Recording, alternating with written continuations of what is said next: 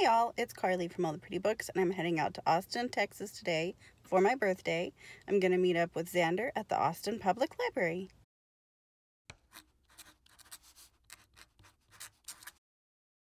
But first, a selfie.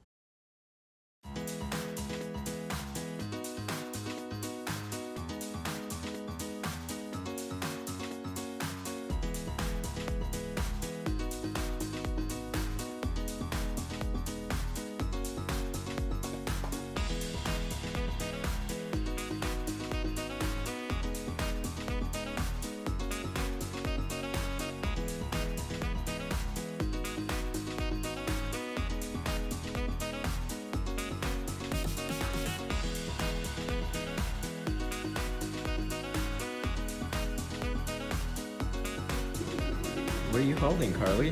Fantastic Beasts in Russian, Xander. Wow, it's so shiny, and I love it.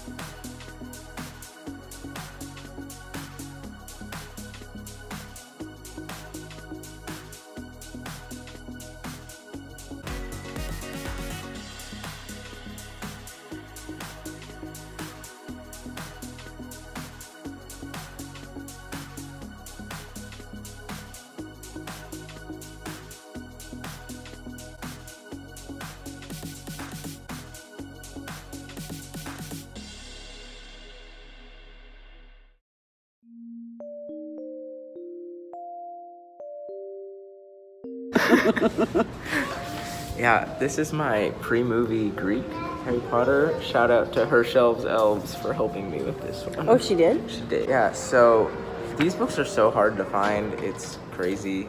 The only way I got my PS was luck. And there's a listing for one of these, pre-movie Chamber of Secrets, and a normal PS. And I ordered those because I wanted pre-movie Chamber of Right. And I went to the post office on my last day, and it came the last day before I was gonna leave last summer.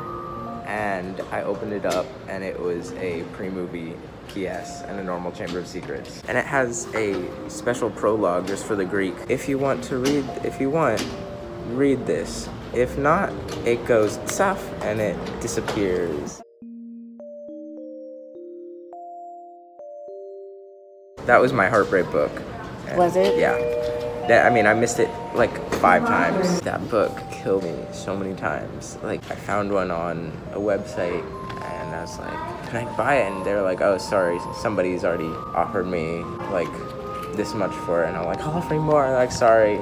And then there was another one who I posted on Reddit, and this guy was like, oh, I have one, I'll send it to you. And then disappeared off the face of the earth. And then, oh, and then my friend's mom, no, my mom's friend went to Iceland, found it at a used bookstore, sent me a picture of it, and didn't buy it because she thought it needed to have Joanna. She had it in her hand. She took a picture of it and sent it to me, and it was the nicest picture ever. And she's like, I'll go back. And, it she went gone. back, and it was gone.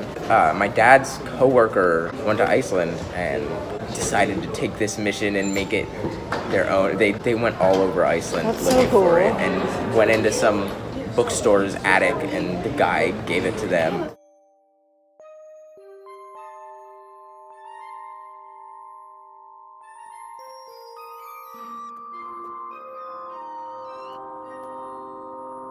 To hear Xander read the first paragraph of the Greek translation of Harry Potter and the Philosopher's Stone, go to www.thebookthatlives.com and click Greek. Hey y'all, I'm gearing up for a Hogwarts Back to School giveaway over on Instagram, so make sure to be on the lookout for that. If you have any questions about collecting Harry Potter books, make sure to check out my website. You're also welcome to follow me on Instagram. Thanks for watching and happy collecting.